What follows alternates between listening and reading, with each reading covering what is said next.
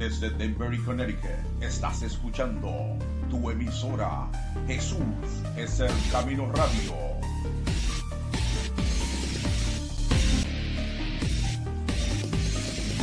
Lo mejor aún está por venir.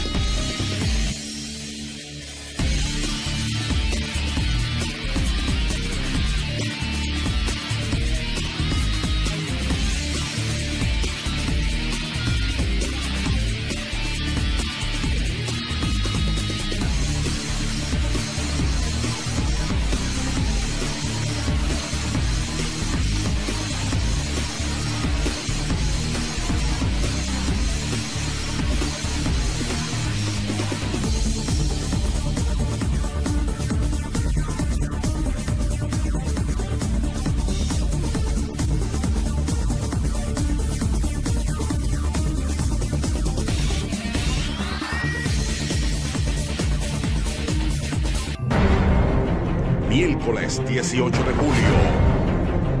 que ese territorio se respeta, que ahí no gobierna brujo, que ahí no gobierna hechicero, que ahí no gobierna gorero, que el único poder asignado Joe Henry Espinal. en toda la escala y en toda la dimensión es el poder sobrenatural del Espíritu Santo. Miércoles 18 de julio. A partir de las 7 y media de la noche. Hay un faraón llamado droga que está oprimiendo al cautivo. Hay un faraón llamado prostitución que está oprimiendo al cautivo. Hay un faraón llamado corrupción que está atando a la gente. La gente está diciendo, ¿cuándo será que se va a levantar una evangélica llena de poder? ¿Cuándo será que se va a levantar un hombre lleno de fuego? Te tengo noticia. Tú eres la respuesta de Dios para esta generación.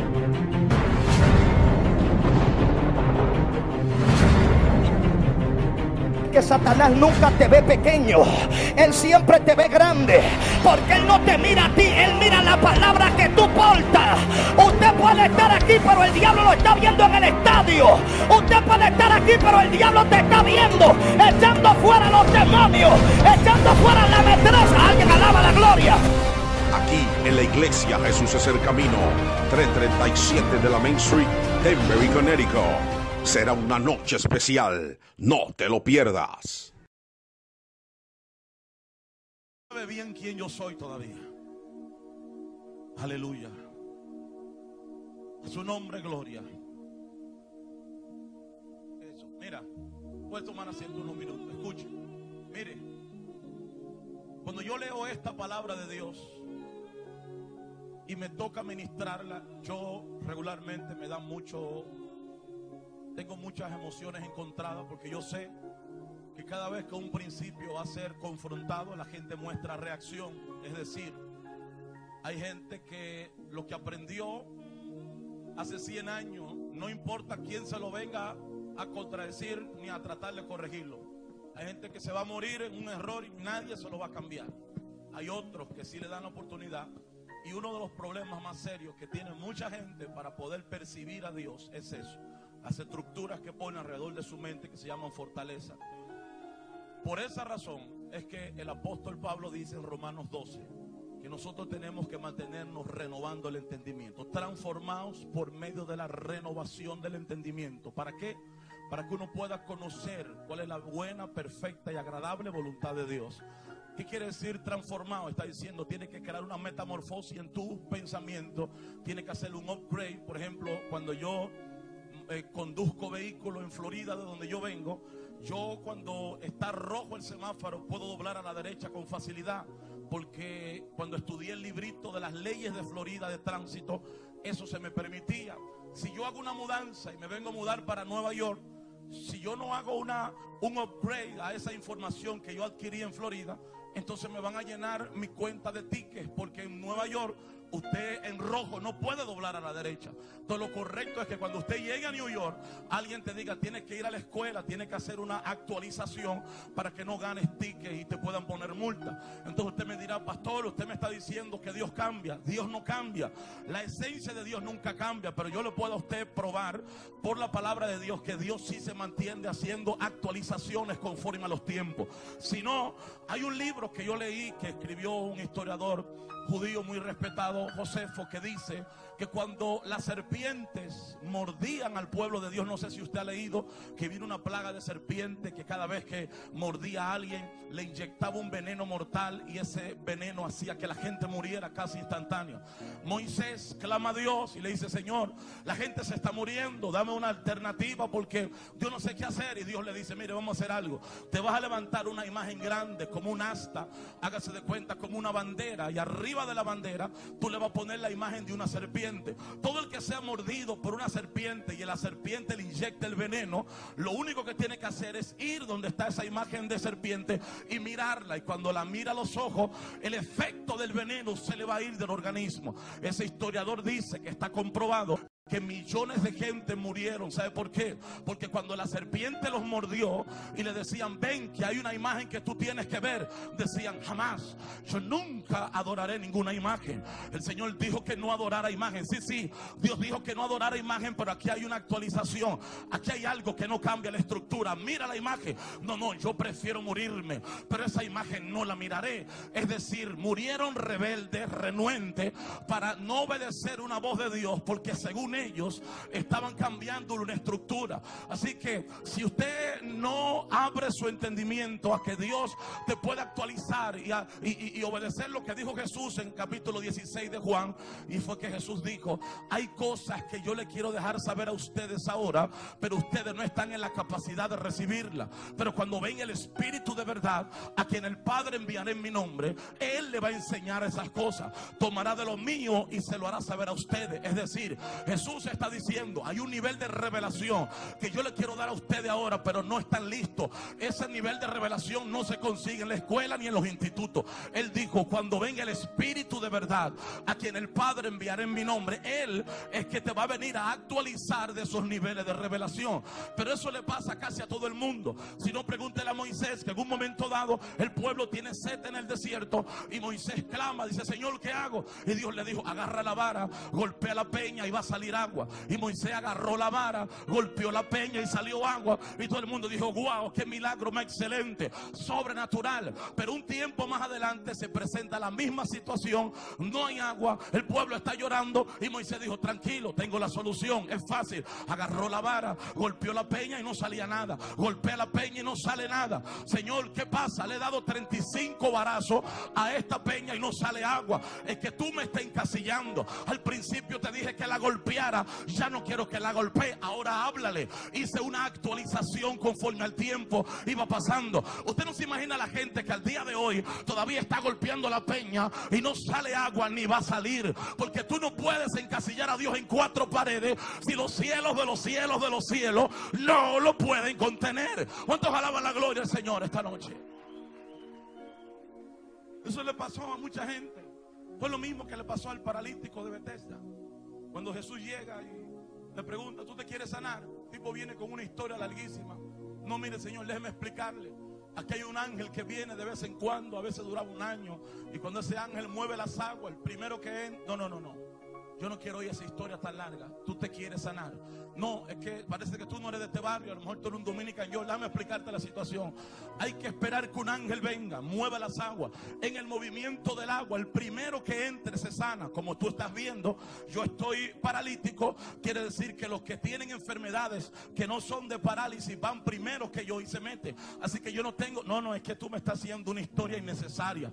Compadre, usted se quiere sanar. No me hable de agua. Eh, eh, en la fuente de donde sale esa agua soy yo. Yo te traje el estanque a domicilio. Yo te traje la sanidad VIP a tu casa. No me trate de encasillar. Por esa razón, hermano, escucha, por esa razón hay días en mi iglesia donde cae una gloria sobrenatural con ciertas canciones y cantamos, como dijiste, derrama tu gloria y se mete una gloria sobrenatural. El otro domingo el coro viene y comienza como dijiste. Y yo le digo, a lo mejor tú crees que como que hay una gloria el domingo con esa misma canción, tú vas a venir a encasillar a Dios con la otra. Dios, tú no lo puedes encasillar. Es todopoderoso. Un día puede caer con una alabanza, otro día con otra. ¿Cuántos alaban la gloria del Señor en esta hora?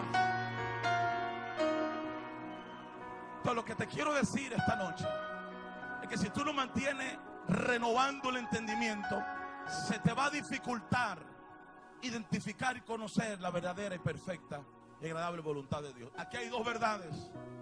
Usted le duela o no, I'm so sorry. Aquí hay dice, número uno, que Dios nos bendijo con toda bendición espiritual en los lugares celestes. Así que, amado hermano mío que está aquí esta noche, si un día usted ve un cristiano que le dice a otro, bendecido, ya pare de hacer un espectáculo por eso. Porque lo único que le está diciendo es, te estoy llamando por la condición en la que tú estás. Como Dios te bendijo desde antes de la fundación. Y yo te digo bendecido, te estoy diciendo, ya lo estás, te estoy nombrando. No quiere decir que no le puedo decir Dios te bendiga. Le puedo decir Dios te bendiga. Pero ya yo me cansé de ver en Facebook debate, ¿qué es eso? Nueva era, bendecido. No, si, me enriquecieron, ¿qué usted quiere que me diga? Enriquecido. Si, si me bendijeron, bendecido. Así que eso, eso es todo. Ya para el debate por eso. Número dos, por favor, ya no siga diciendo que nos van a sentar en lugares celestiales. Porque si usted dice que no van a sentar, entonces usted está anulando lo que Cristo hizo. Nos hizo sentar, ya lo hizo.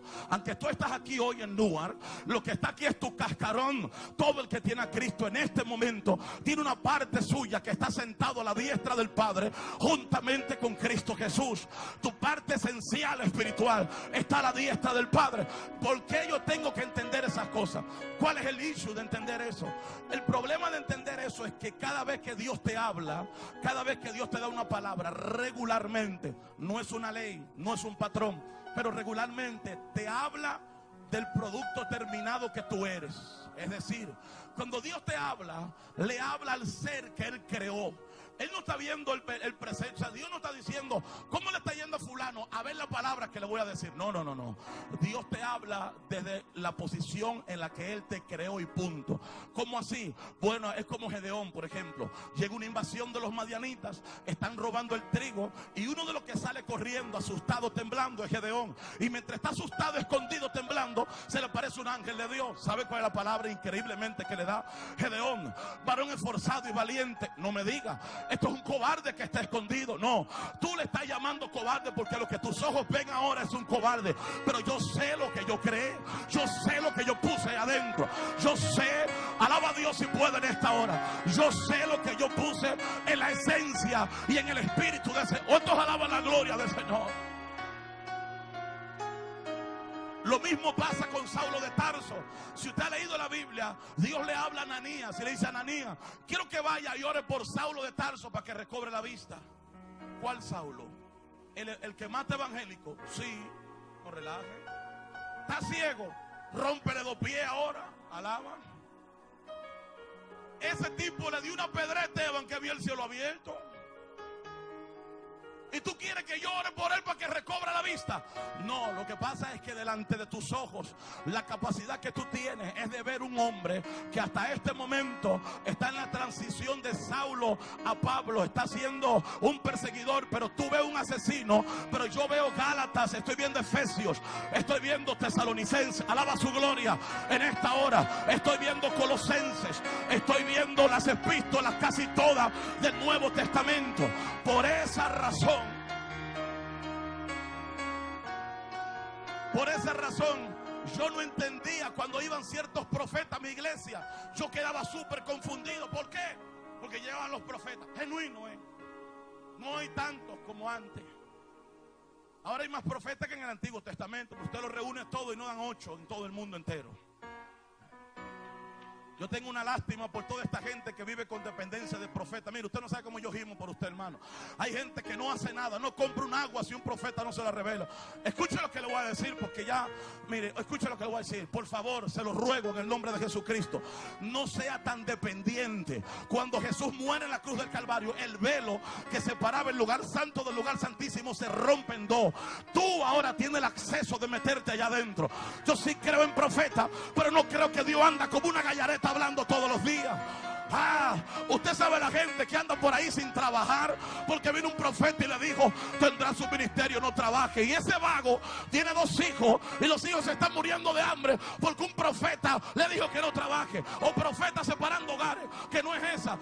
yo fui un profeta ya infante en Dominicana y llegando yo, algo serio quería que Dios me revelara. Y desde que llego el engendro me dice, dice Jehová que aquí conseguirá tu esposa. Digo, ay, ¿qué hago con la que tengo en mi casa? La mato.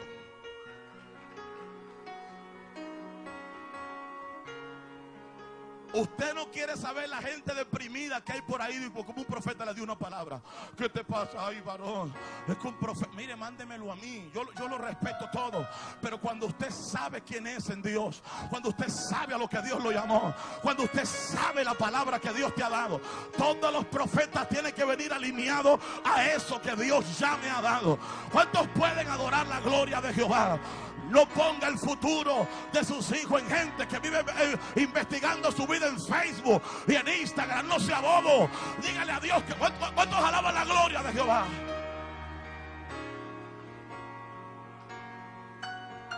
Infante, ya soy pastor. Me se importa que no me inviten. Ahora es que está bueno el asunto un montón de, falsos profetas, hermano, han, llenado las iglesias ordenándose, dividiendo iglesias, hablando un montón de, de, plumas de caballo, hermano. Es una cosa impresionante. Ahora, yo conocí profetas genuinos que llegaron a mi iglesia. ¿Y sabe lo que me confundió a mí? Que llegaron sobre cierta gente y le decía, Dios te va a bendecir. Dios te va a levantar. Y yo decía, wow, ahora sí estoy confundido porque este profeta es genuino. Pero el que le está hablando va dos, cada, en un año va dos días a la iglesia. Oiga esto. Y le está diciendo, Dios, Dios te levantará con una gloria sobrenatural. Y el infierno te va a temer. Y yo, pero que este tipo, la última vez que lo vi fue hace cinco meses en el aniversario. Entonces yo me turbaba. ¿Saben por qué me turbaba? Porque nosotros somos, solamente tenemos la capacidad de ver lo que está en mis ojos. O sea, Dios le está profetizando a ella. Y comienza todo el que la conoce. Oigan a este. Dice una profecía sobre fulana que ha tenido tres novios. Y uno comienza. Pero tú no sabes que Dios no le está hablando a la mujer que tú estás viendo ahora. Dios le está profetizando a la mujer que él creó. Ah, alaba a Dios si puede en esta hora. Dios te está hablando. Dios te está hablando desde la posición completa en la que tú eres. su nombre, gloria por siempre y para siempre. Entonces, pastor, ¿y desde qué posición Dios me está hablando? Tú estás muy lejos, yo ni estoy cerca por si alguien me brinca, yo te veo en el gimnasio. ¿De qué posición Dios me está hablando? ¿Sabe de qué posición Dios le está hablando? Son cosas que yo no me atreví a predicarle como evangelista. El pequeñito temor que le daba a uno. Y si el pastor no entiende y no me invita, ahora, ahora es, ojalá, ojalá y no entienda. Ahora es que me gusta. Número uno, la Biblia dice en Eclesiastés capítulo 12, verso 7, para que usted sepa desde dónde que Dios te habla. Ese verso, hermano, yo fuera usted y lo anoto porque usted podía durar un mes como hice yo leyéndolo. Eclesiastés 12, 7 dice, hablando de cuando la gente se muere, el polvo vuelve a la tierra como era antes y el espíritu vuelve a Dios que lo dio. Si cuando usted se muere, el espíritu vuelve a Dios, nadie puede volver a un lugar donde primero no estuvo. Si usted va volver es porque ya usted estaba ahí primero. Ah, yo, yo, yo no sé si usted me está entendiendo. Por eso hay gente que se enoja cuando le dicen viejo. Yo vengo a decirle que usted es más viejo que Matusalén. Usted es más viejo que el sol y que la luna. Tú estabas contenido en Dios. Por esa razón, alguna gente al día de hoy todavía cree que vinieron a Cristo por su gran entendimiento que tiene. Y hay dos versos que dijo Jesús. Mire, cuando Jesús dijo esas dos cosas, tuve que votar como 35 siete mensajes de lo que yo había dado. Lo primero que dijo Jesús que me impresionó, Juan 6:44, número uno, ninguno puede venir al Padre a, mí si el Padre que me envió no lo trae. Nadie puede venir a Jesús si el Padre que me envió no lo trae. Usted no llegó a Jesús por su linda cara, ni porque le gustó el mensaje del predicador. Usted vino porque alguien te trajo. Ahora el otro verso da miedo, infante, miedo. Porque el verso 45 dice, escrito está en los profetas y serán todos enseñados por Dios. Así que todo aquel que oyó a Dios y aprendió de él viene a mí. Lo que Jesús está diciendo, nadie puede venir a mí si primero no oyó a él y aprendió de él. ¿Dónde tú aprendiste? ¿En qué lugar tú tomaste esa escuela bíblica antes de recibir a Jesús en la tierra? Tú la tomaste en la posición que tú tenías en él. Tu primera aparición no es en esta tierra. Tú estás aquí cumpliendo una asignación especial. Tú no eres un humano que a veces tiene experiencias espirituales. La verdad es que tú eres un ser espiritual.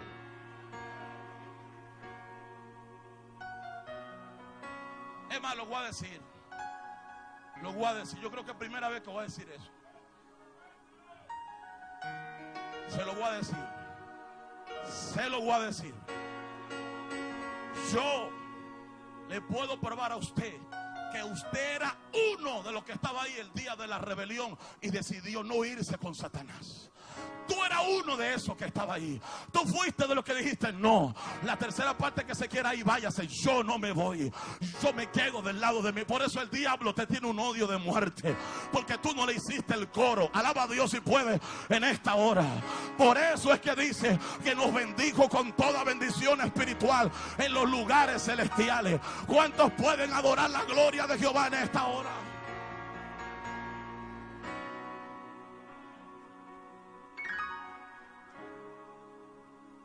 Decía Corporán, porta mí. ¿Me acuerdan de Corporán? Que decía, anunciar algo de que ni tenis fila, ni tenis nada, ten ni taxi. Oye eso. Mitolín, con cuatro sabores diferentes. Le decían Corporán, sabores no, colores, que se lo beban, porta a mí. Alaba. Está ahí todavía. Así que todo lo que tú necesitas para triunfar está esperando por ti. Escuche esto. Hay gente que ora creyendo que cuando tú ores vas a mover una respuesta de Dios. O sea, que Dios está en un lugar diciendo, ¿qué quiere, mi hijo? A ver si te lo puedo dar. Cuando tú ores, Dios dice, ok, Miguel, créame la respuesta. No, no, no, no, no. Escuche esto. La respuesta es que está esperando por ti hace tiempo. Tú no eres que está esperando por la respuesta de Dios. La respuesta de Dios está esperando por ti. ¿Sabe por qué? Cuando Dios le habla a Daniel, le dice, Daniel, desde el momento que tú dispusiste en tu corazón pedir esto, la orden fue dada. No cuando lo hablaste, tú pudiste haberlo dispuesto en tu corazón hace 15 años atrás. Y desde ese momento comenzó el funcionamiento espiritual. O sea, a Dios no se le está ocurriendo ahora tratar de sacarte de un problema en el que tú te metiste. la solución del problema llegó junto con el mismo problema. Ningún descubrimiento sobre la faz de la tierra se ha hecho jamás si primero alguien no lo vio. Escuche, ningún carro lo hace si primero no hace las partes y los repuestos. Usted puede comprar un carro 2017 y si se le daña en el camino, usted va al, dealer y cuando usted va al dealer tiene la pieza. Pero ven acá, el carro es del año que viene. ¿Cómo tú tienes la pieza? Porque antes de hacer el carro, lo primero que hicimos fue las piezas. De manera que tu solución, Dios no se la está inventando. Tu solución está esperando por ti. Ah, yo, yo, yo creo que. Ven, Harrigan, rápido, que me voy de aquí. Esta gente no, no, no. Si usted quiere, a mí hay que provocarme la revelación. Púyeme, púyeme. Provóqueme, que, que vine de lejos. ¿Cuántos alaban la gloria de Jehová en esta hora?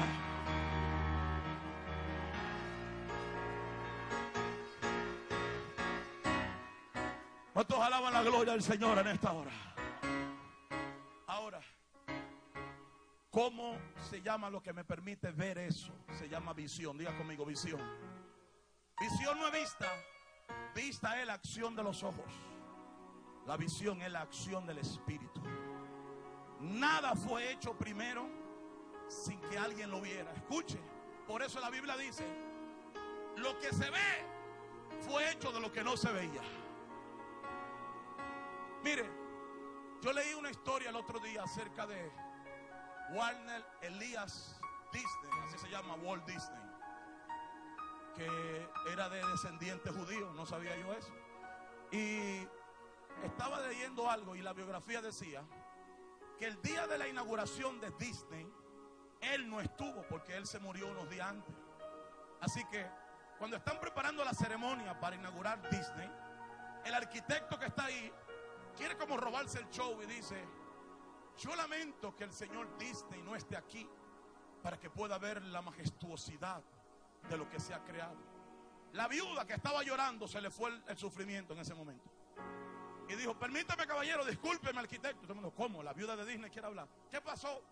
Escúcheme, el que está viendo esto ahora es usted. Mi marido vio todo esto hace seis años que nosotros volamos un helicóptero sobre todo Kissimmee y él comenzó a repartir máquinas. Dijo, ahí va Mickey Mouse, aquí va esto, aquí va lo otro y comenzó a estructurarlo. Usted lo está viendo ahora, él lo vio desde hace mucho. La gente que tiene visión no es el que ve lo que está delante de sus narices. Son gente que ven 15, 10 años por adelantado a lo que está delante de tus ojos. Alaba a Dios si puede en esta hora. Cuando tú cargas visión, hermano, tú vives feliz a distinto de los otros. Y la gente le dice, ¿por qué tú estás tan contento? Porque tú estás viendo cosas que nadie está viendo. Ah, por eso usted ve que la Biblia dice que Abraham se gozó de ver los días del Mesías. Por eso la gente creía que Jesús estaba fuera de sí. Porque Jesús le decía, mire, usted conozca la verdad, van a ser libres. Y él le decía, pero ¿cómo que conozca la verdad? Yo soy, yo estoy preso, sí. Pero nosotros somos hijos de nuestro padre Abraham. Tú te quieres más que él. Antes que Abraham fuera, yo soy. Pero tú tienes treinta y pico de años y Abraham tiene cuatro mil años que apareció aquí. No, Abraham se gozó de ver los días míos. Yo me voy de aquí, este hombre está loco. Primera de Piña 1.4 dice, detrás de los mapas. Escuche esto. Dice detrás de los mapas. Si usted lee la Biblia despacio, que hoy no hay tiempo para descifrar eso porque me quedan 15 minutos exactos. Cuando Abraham va a sacrificar el hijo, el niño le hace la pregunta, ¿se acuerda? ¿Qué es lo que Abraham le dice? Adonai, giré, Jehová se proveerá de cordero. Tranquilo. Ahora, cuando lo va a matar, que viene la voz que dice, Abraham, no lo haga. yo sé que tú tienes fe y que va a hacer. Dice que cuando él mira desde atrás, no hay un cordero, sino un carnero lo que van a sacrificar un cordero. Entonces la gente dice, no, porque Dios le envió el corderito. No, no, no, Dios no envió ningún cordero. La Biblia dice, le envió un carnero y Abraham está hablando de cordero, que no es lo mismo. Lo que Abraham vio realmente es lo que Cristo está hablando. Abraham tenía una capacidad que se metía en la eternidad y miraba cuatro mil años por adelantado. ¿Sabe lo que a usted le pasa cuando usted comienza a caminar en esa dimensión de vida? Algunos van a querer que te volviste loco, otros van a querer que eres muy presumido. ¿Sabe por qué? Porque el presente no te afecta. Yo no vivo con lo que veo en el presente. Cuando tú tienes esa capacidad de ver, algunos van a decir, este hombre se volvió loco. Ahora mismo nosotros estamos pastoreando una obra que abrimos unos meses en West Palm Beach. Seis meses yo daba viaje desde Kissimmee a West Palm Beach. Dos horas 45 minutos. Los miércoles, mi hija durmiendo se atrae en el carro. Mis hijos dormidos, todo. A veces hasta yo me dormía. Esos viajes me ayudaron a entender la dimensión de los ángeles manejando en highway. Escucha esto. Y la gente me decía, te volviste loco, papá. ¿Qué es eso de manejar esa distancia. Cuando llegaban a West Palm Beach, algunas veces el servicio lo daban los cuatro que llegamos de Kissimmee. Y mi hija me decía, papi, pero los que estamos aquí era lo mismo que estaban allá, porque el culto no lo dimos en la casa. Digo, estate tranquila, mi hija, que yo estoy viendo cosas que no te puedo explicar ahora. La gente creía que me estaba volviendo loco. Hermano, apenas tenemos algunos meses. Allí hay un imperio que se está levantando. Los domingos llegan más de 100 personas y lo que viene, las cadenas se están rompiendo, los demonios están corriendo la gloria de Jehová se está estableciendo. Pero ¿sabes qué? Si yo me pongo a quejarme por algunos cinco o seis viajes en los que no llegó ni uno, yo estuviera deprimido. Pero yo no, yo no miraba lo que estaban viendo mis ojos. Yo estaba viendo algo más allá. Yo veía algo que no se veía a simple vista. Cuando usted tiene visión, usted comienza a disfrutar de cosas que la gente te dice te volviste loco. A las mujeres embarazadas le dice que están, alguien le dice loca. Yo he visto mujeres hablando con el niño. Ay, chichi, ¿qué dice ese muñequito? ¿Y con quién usted habla? Usted le ha visto la cara ese muchacho. Alaba. Tú sabes quién es que está ahí, ¿no? Y tú ves que hablan y le preguntan cosas. ¿Tiene frío ahí adentro? Alaba. La visión produce esperanza. ¿Por qué? Porque sabe que el presente no es todo lo que Dios tiene para ti. Al tú saber que la cosa ahora podía estar fuerte, pero al tú saber lo próximo que viene, eso te da paz y te da esperanza. Tú dices, yo sé lo que va a venir. Lo primero que hace la gente que tiene visión es que automáticamente Dios le cambia las relaciones. Dios le cambia las amistades. Escuchen esto. ¿Por qué? Porque un abismo llama a otro abismo. Y una gente de visión no se puede estar comunicando con... La gente águila no puede estar hablando con gallina, hermano. Usted tiene que conectarse con gente que tenga un nivel de gloria más alto que usted. Usted no puede estar con gente que sea puro chisme, que sea pura crítica y pura murmuraciones. Esa gente yo la estoy eliminando de mi Facebook. Yo hablo con gente que me hable de canales de televisión, de cruzadas de gloria, de, de- avivamiento, de almas, de sanidades. Hable con gente que te empujen a lo sobrenatural. Estoy eliminando toda comunicación mediocre. Benzo Guidaosa dijo, el nivel de tu relación determina el nivel de tu excelencia. En buen dominicano, dime con quién andas y te diré quién eres. No andes con pollo, no andes con gente envidiosa ni celosa. No andes con gente que desde que Dios comienza a usarte, le va a comenzar a dar una piquiña y le va a comenzar, alaba a Dios si quieres, si no manda al otro. No hable con cobarde, no andes con gente con falta de identidad. No ande con gente que tiene miedo que Dios te levante. No abaseca tabasaya. Alguien me está entendiendo lo que le estoy hablando. No hable con gente cobarde que le tenga miedo a los grandes retos. Hable con gente que te empuje. Dile a alguien, empújame. Dale un codazo a alguien, dile, empújame.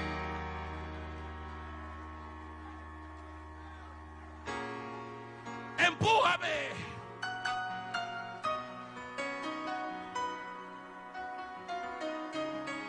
El otro día estoy leyendo unos libros y nunca entendí por qué Dios me mandó a votarlo. Mire, hermano, esa es una de las cosas que más me ha dolido de esta vida. Que yo esté leyendo libros de Catherine. Yo le puse a mi hija Catherine por eso, por Catherine Kuhlman. Y yo leyendo libros y avivamiento en Pittsburgh, que Catherine Kuhlman entraba a la ciudad y los demoniados comenzaban a correr cinco kilómetros antes. Y que entró un hotel y cayó una gloria, que todo el mundo. Y yo estoy leyendo eso. Y siento esa. Hay libros de esos que me valieron muy caros, muy caros, más de 160 dólares. Y, y- y libros de 300 dólares. Y escuchar a Dios que me diga, quiero que lo votes ya. Y yo dije, no, esto es el diablo que me está hablando, espérate. Necesito que lo votes ya. Y yo, pero ¿por qué tú quieres que yo vote mi libro? Y el Señor me dijo, porque tú te mantienes envuelto en una gloria pasada. Tú disfrutas mucho todo lo que hizo Catherine Kuhlman, Aimé Simple, Mark Dixon. Tú vives disfrutando lo de Hus, lo de lo de lo de el avivamiento en Azusa. Te gusta esa historia del avivamiento en Pensacola, pero a ti se te ha olvidado que la gloria postrera será mayor que la primera. A ti se te ha olvidado que tú eres parte de los nuevos libros que se van a escribir. A ti se te ha olvidado que tú eres participante. Si el diablo le tenía miedo a esa gente, si el diablo no pudo parar la gloria que esa gente cargaba, imagínate que la gloria postrera es mayor. Lo que tú tienes es más peligroso que lo que esa gente tenía. A ti te engañaron, a ti te dijeron que el futuro estaba delante de ti. Mentira, el futuro está dentro de ti. Sácalo, libéralo, explótalo, manifiéstalo, levántalo. ¡Ah! ¡Ah! Levante las manos y alabe la gloria del Señor en esta hora. Le quedan cinco minutos. Alabe la gloria de Jehová en esta hora. Alabe la gloria del Señor. Las limitaciones. Hay gente que está atribuyéndole al diablo las limitaciones de su propia visión. Mire, hermano. El pobre diablo está frustrado con la iglesia. El otro día hay un cuento, Harrigan, de que, encontraron al diablo agarrando una pared de una iglesia. Le dijeron, ¿cómo diablo? Pero tú estás muy cristiano. ¿Y qué estás agarrando esa pared? No le pusieron varilla. Se va a caer. Y van a decir que fui yo que la tumbé. ¿Por qué? Porque hay gente que no sabe que Dios, Dios no te puede dar más allá de la capacidad de la que tú tienes para administrar. Nadie puede ir más allá de la revelación a la que ha sido expuesta. Tú no tendrás nada si primero no lo visualiza y lo materializa dentro de ti, hermano. Escucha esto. Cuando tú tengas la capacidad, por eso fue que Dios hablando con Abraham le dijo, ven acá que te voy a enseñar quién soy yo. Sal para afuera de la casa, no quiero hablar contigo allá adentro. Y Abraham sale. Dios le dijo, cuenta las estrellas. Son muchas, cuéntalas, te estoy diciendo, ok, uno, dos, tres. Cuando iba por 100 millones, dijo, son demasiadas, ok, así será tu descendencia. No me limites, no me ponga números, no, alaba a Dios si puede en esta hora. No. Y entonces hay un montón de gente que desde que no puede ver nada, el diablo me está atacando. El, otro día tuve que hablarle mal a un amigo mío. Le, varón, ayúdeme a orar. El diablo no me deja avanzar. El, di- digo, el diablo no te conoce a ti, muchacho. Tú no sabes que el diablo no pierde su tiempo con cualquier persona. El diablo ataca la gente que carga gloria, la gente que transforma ciudades, la gente que afecta a otros. Abasanda, siento que algo le está ocurriendo a los guerreros. Siento que algo le está pasando a los guerreros. Yo fui a un congreso en Missouri el otro día y trajeron un tipo de lejos de la India para allá, qué sé yo. Todas las profecías que estaban dando, todas estaban acertadas ese día. Todo. El tipo me llama delante de todo. Y tú sabes que los evangélicos, algunos se chimosos, algunos, aquí no hay eso. Oí detrás de mí que dijo, ay, llamaron a piña. Pero para mí es que están buenos los profetas. Yo no tengo miedo. Profetice todo lo que usted quiera, hermano. Y yo me paré, levanta tu mano. Y el traductor le dice que levanta la mano. Y digo, yo entendí, no te apures.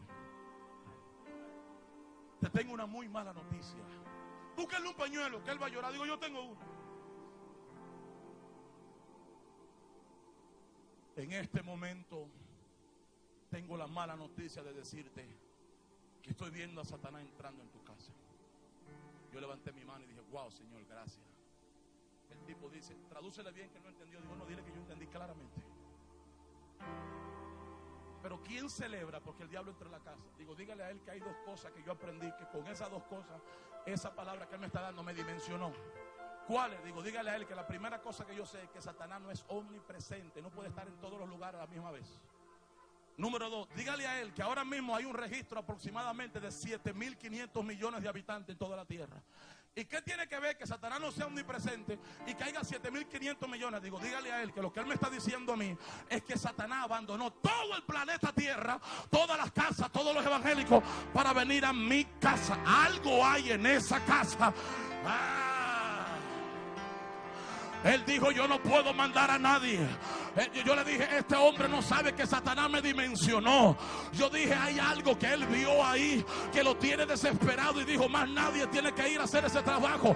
Ese trabajo tengo yo que ir a hacerlo. ¿Sabía usted que el diablo no pierde su tiempo con cualquier persona? Hermano, si usted lee la historia de David, nadie lo criticaba, nadie lo murmuraba, nadie se levantó en contra de él hasta que le echaron el aceite de Dios encima. Desde que lo ungieron, lo querían matar, le cogieron envidia. El problema tuyo fue desde que Dios te ungió. Antes que Dios te ungiera, al diablo no le importaba tu vida. Tú no valías nada. Pero ahora que tiene la unción, pero ahora que tiene la unción, pero alaba su gloria en esta hora. Ahora que estás ungido.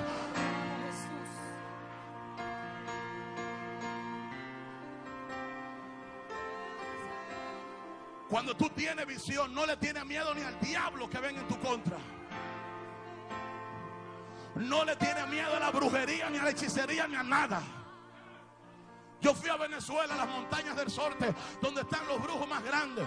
Vi cosas ahí, sí, que casi me muero. Pero le decía a mi espíritu, sea hombre. Un tipo caminando y el agua echándose a la izquierda y a la derecha y él caminando por el medio. El cuerpo mío se iba ahí. Digo, ¿qué es separado? Que usted un hombre de Jaina, que eso es peligroso ahí. Alaba. Y el tipo comenzó a maldecirme. No sé qué tiene que ver unas cucharas, unos cuchillos, como si fuera un restaurante. Y comenzó a hacer señas raras y todo. Y Dios me dijo: Activa los que tienes por dentro. Escuche, hay gente que cuando está en problemas comienza a llamar a Dios como que Dios se fue. ¿Para dónde cogió Dios? Tú lo tienes metido, tú estás sentado en lugares celestiales. Tú, tú fuiste bendecido con toda bendición espiritual. Le dije, Señor, ¿qué hago? ¿Sabe lo que Dios me dijo? Si tú pudieras ver que ahora mismo esa bruja está más asustada que tú, el diablo te tiene miedo. Abasanda, canda. Siento una gloria que está corriendo. Siento el diablo te tiene miedo. El diablo le tiene miedo a lo que tú cargas por dentro. Todo lo que tiene que hacer es manifestarlo. Explótalo, sácalo. Alaba la gloria de Dios. Póngase de pie un momento que siento una ola de Dios que está corriendo. Hay fuego sobre pastores, fuego sobre evangelistas, fuego sobre cantantes, fuego sobre misioneras, fuego sobre músicos, fuego sobre profetas. Levántala.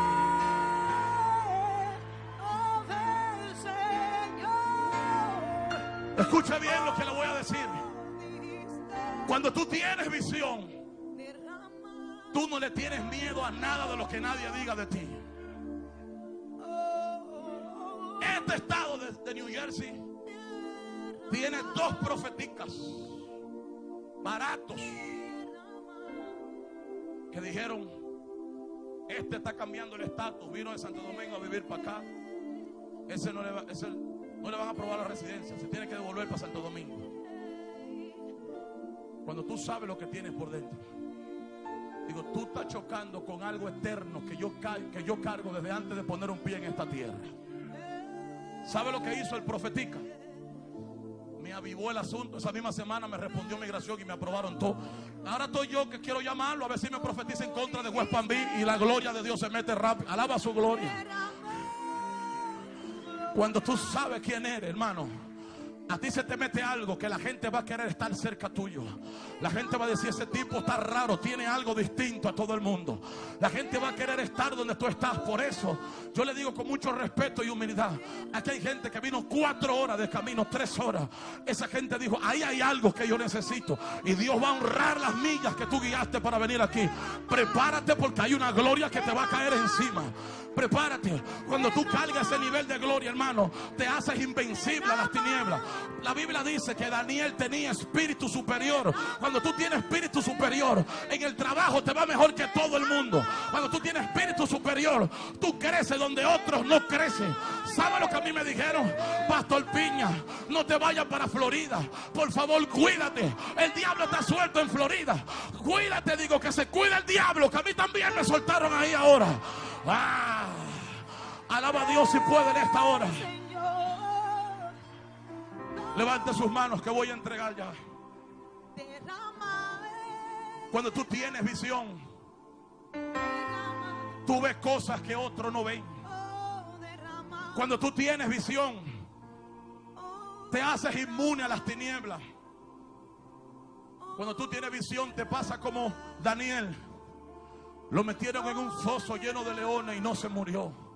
¿Cómo se va a morir si cuando tú tienes visión tú ves más? Me imagino que Daniel dijo, ven acá, si yo estoy sentado ahora mismo a la diestra del Padre y el creador de todo es Dios, me parece que cuando Daniel cayó en el foso le dijo a los leones, cuidado con lo que ustedes van a hacer.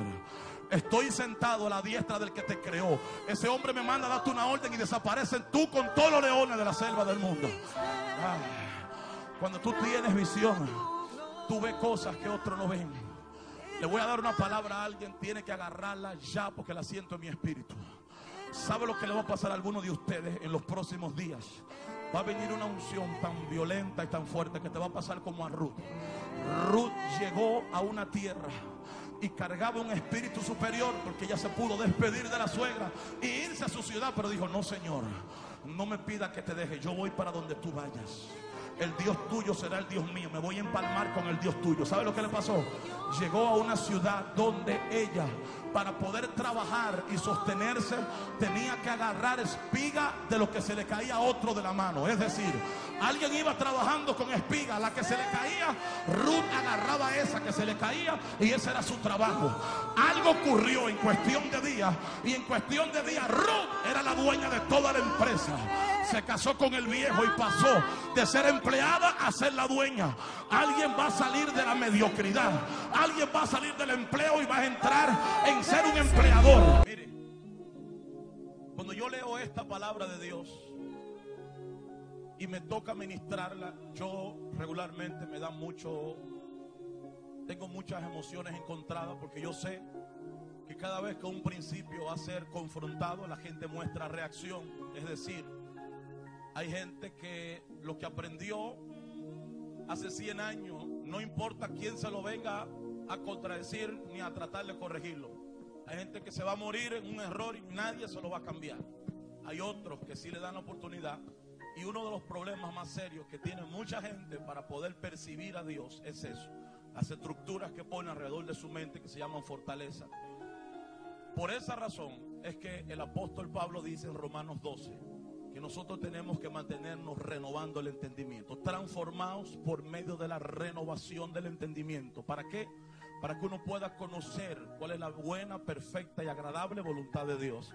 ¿Qué quiere decir transformado? Está diciendo, tiene que crear una metamorfosis en tu pensamiento, tiene que hacer un upgrade. Por ejemplo, cuando yo eh, conduzco vehículos en Florida, de donde yo vengo, yo cuando está rojo el semáforo puedo doblar a la derecha con facilidad, porque cuando estudié el librito de las leyes de Florida de tránsito, eso se me permitía.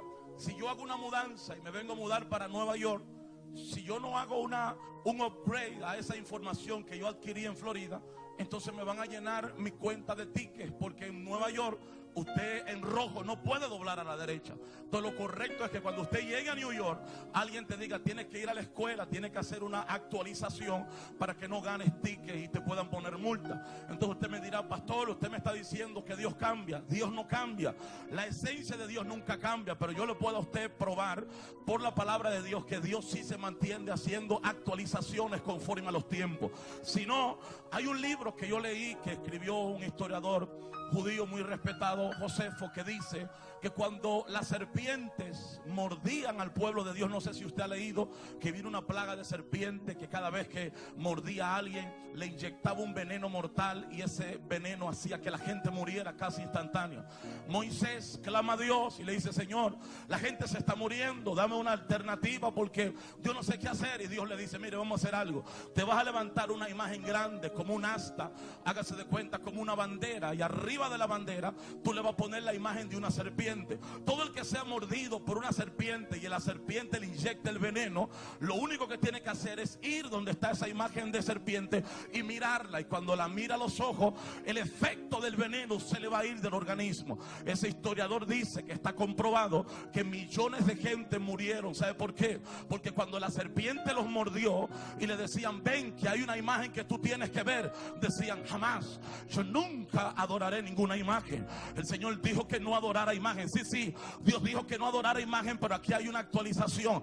Aquí hay algo que no cambia la estructura. Mira la imagen. No, no, yo prefiero morirme, pero esa imagen no la miraré. Es decir, murieron rebeldes, renuentes, para no obedecer una voz de Dios, porque según ellos estaban cambiando una estructura. Así que si usted no abre su entendimiento a que Dios te pueda actualizar y, y obedecer lo que dijo Jesús en capítulo 16 de Juan, y fue que Jesús dijo, hay cosas que yo le quiero dejar saber a ustedes ahora, pero ustedes no están en la capacidad de recibirla. Pero cuando ven el Espíritu de verdad, a quien el Padre enviará en mi nombre, Él le va a enseñar esas cosas. Tomará de lo mío y se lo hará saber a ustedes. Es decir, Jesús está diciendo, hay un nivel de revelación que yo le quiero dar a ustedes ahora, pero no están listos. Ese nivel de revelación no se consigue en la escuela ni en los institutos. Él dijo, cuando venga el Espíritu de verdad, a quien el Padre enviará en mi nombre, nombre, Él es que te va a venir a actualizar de esos niveles de revelación.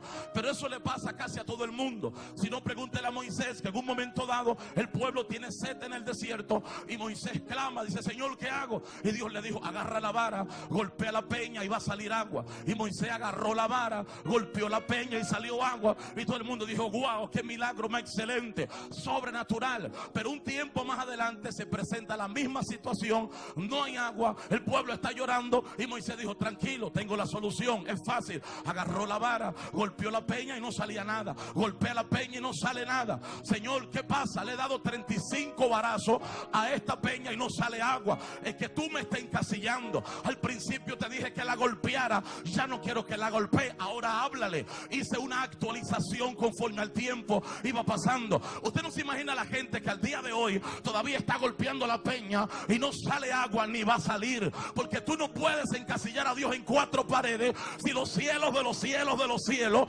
no lo pueden contener. ¿Cuántos alaban la gloria del Señor esta noche? Eso le pasó a mucha gente. Fue lo mismo que le pasó al paralítico de Bethesda.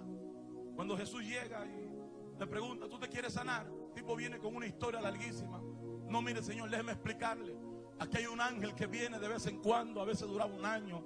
Y cuando ese ángel mueve las aguas, el primero que entra. No, no, no, no. Yo no quiero oír esa historia tan larga. Tú te quieres sanar. No, es que parece que tú no eres de este barrio. A lo mejor tú eres un dominicano. Yo, dame explicarte la situación. Hay que esperar que un ángel venga, mueva las aguas. En el movimiento del agua, el primero que entre se sana. Como tú estás viendo, yo estoy paralítico. Quiere decir que los que tienen enfermedades que no son de parálisis van primero que yo y se meten. Así que yo no tengo. No, no, es que tú me estás haciendo una historia innecesaria.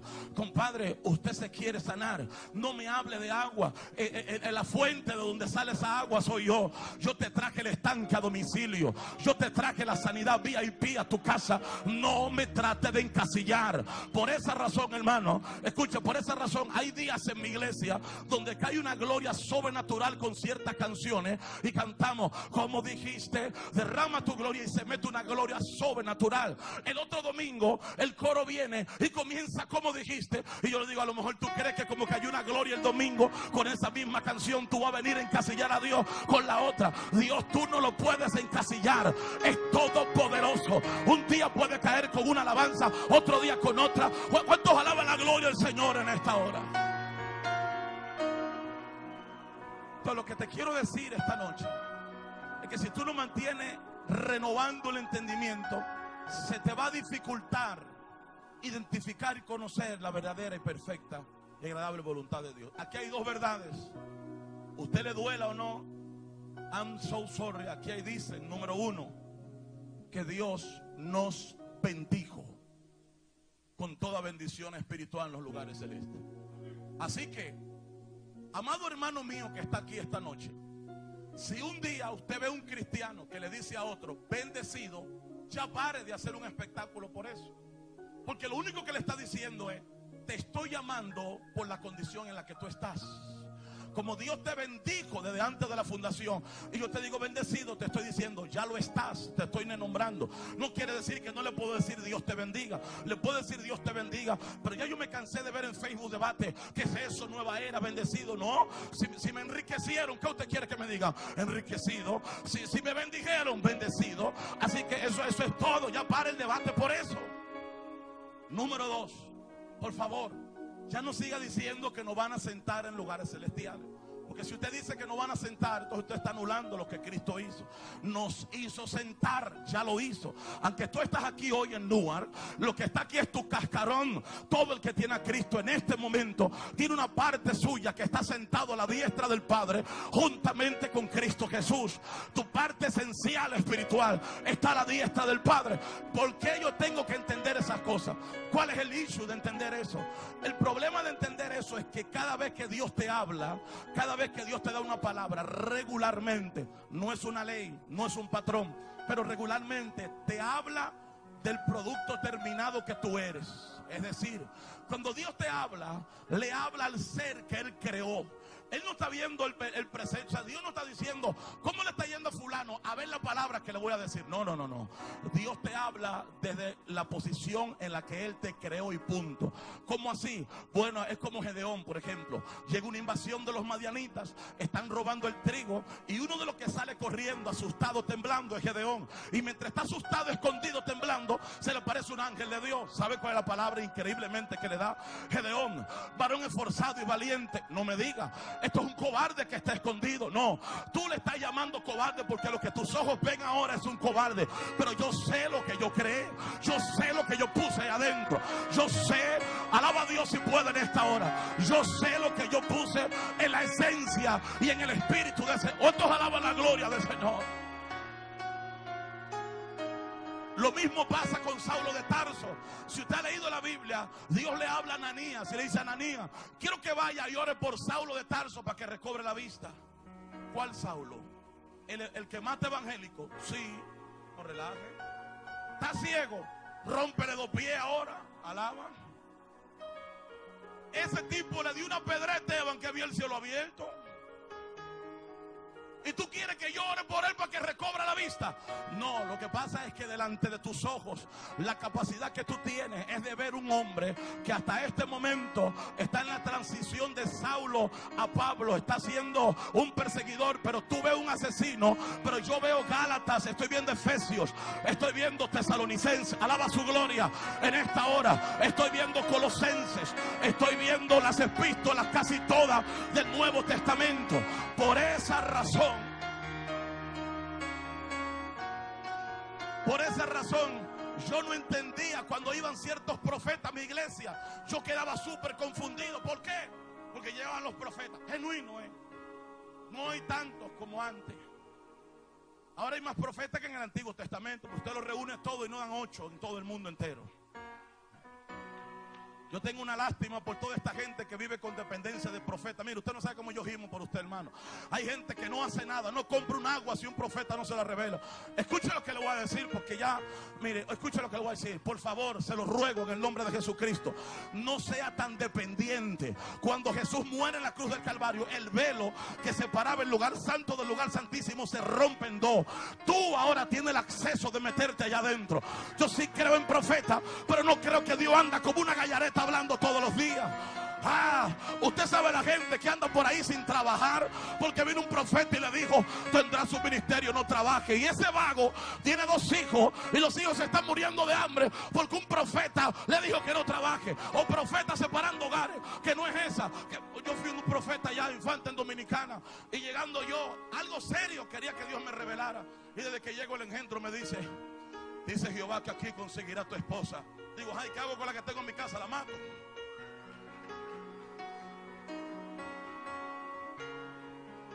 Usted no quiere saber la gente deprimida que hay por ahí, como un profeta le dio una palabra. ¿Qué te pasa? Ay, varón. Es que un profeta, mire, mándemelo a mí. Yo, yo lo respeto todo. Pero sabe quién es en Dios. Cuando usted sabe a lo que Dios lo llamó. Cuando usted sabe la palabra que Dios te ha dado. Todos los profetas tienen que venir alineados a eso que Dios ya me ha dado. ¿Cuántos pueden adorar la gloria de Jehová? No ponga el futuro de sus hijos en gente que vive eh, investigando su vida en Facebook y en Instagram. No sea bobo. Dígale a Dios que cuántos alaban la gloria de Jehová.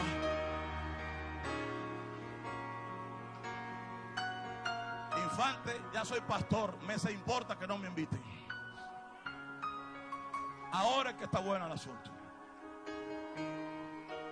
un montón de, falsos profetas, hermano, han, llenado las iglesias ordenándose, dividiendo iglesias, hablando un montón de, de, plumas de caballo, hermano. Es una cosa impresionante. Ahora, yo conocí profetas genuinos que llegaron a mi iglesia. ¿Y sabe lo que me confundió a mí? Que llegaron sobre cierta gente y le decía, Dios te va a bendecir. Dios te va a levantar. Y yo decía, wow, ahora sí estoy confundido porque este profeta es genuino. Pero el que le está hablando va dos, cada, en un año va dos días a la iglesia. Oiga esto. Y le está diciendo, Dios, Dios te levantará con una gloria sobrenatural. Y el infierno te va a temer. Y yo, pero que este tipo, la última vez que lo vi fue hace cinco meses en el aniversario. Entonces yo me turbaba. ¿Sabe por qué me turbaba? Porque nosotros somos solamente, tenemos la capacidad de mis ojos. O sea, Dios le está profetizando. Miércoles 18 de julio que ese territorio se respeta, que ahí no gobierna brujo, que ahí no gobierna hechicero, que ahí no gobierna gobero, que el único poder asignado Henry Espinal en toda la escala y en toda la dimensión es el poder sobrenatural del Espíritu Santo miércoles 18 de julio, a partir de las 7 y media de la noche. Hay un faraón llamado droga que está oprimiendo al cautivo. Hay un faraón llamado prostitución que está oprimiendo al cautivo. Hay un faraón llamado corrupción que está atando a la gente. La gente está diciendo, ¿cuándo será que se va a levantar una evangélica llena de poder? ¿Cuándo será que se va a levantar un hombre lleno de fuego? Te tengo noticia. Tú eres la respuesta de Dios para esta generación.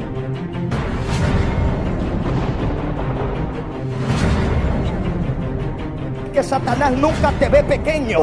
Él siempre te ve grande. Porque Él no te mira a ti, Él mira la palabra que tú portas. Usted puede estar aquí, pero el diablo lo está viendo en el estadio. Usted puede estar aquí, pero el diablo te está viendo. Echando fuera los demonios. Echando fuera la metralla. Alguien alaba la gloria. Aquí en la iglesia Jesús es el camino. 337 de la Main Street, Denver, Connecticut será una noche especial. No te lo pierdas.